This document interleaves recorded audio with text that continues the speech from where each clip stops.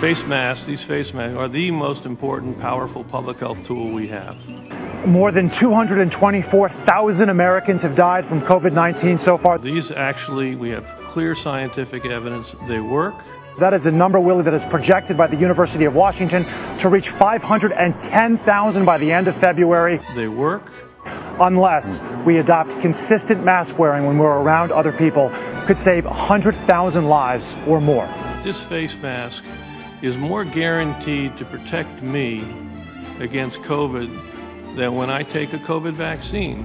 Wearing a mask might make people feel a little bit better, and it might even block a, a droplet, but it's not providing the perfect protection that people think that it is. And often there are unintended consequences. People keep fiddling with the mask and they keep touching their face. If people are not wearing masks, then maybe we should be mandating it. The U.S. steamrolling through all time highs. They work. On Saturday, notching 79,059 cases. They work.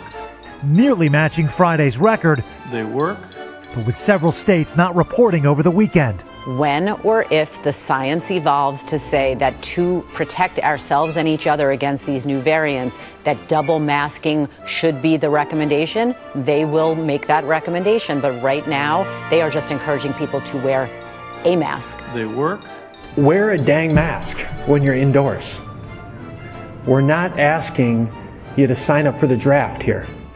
This morning, the U.S. crossing yet another dark milestone. They work. More than 225,000 lives lost. They work. As cases are still on the rise. They work. It's in about 80% of states. Here in El Paso, COVID related hospitalizations are up 300% in the last three weeks. They work. We're seeing this massive rise. It's not just in one part of the country, it's across the entire country, especially in the Midwest and in El Paso, like you covered. It's unprecedented.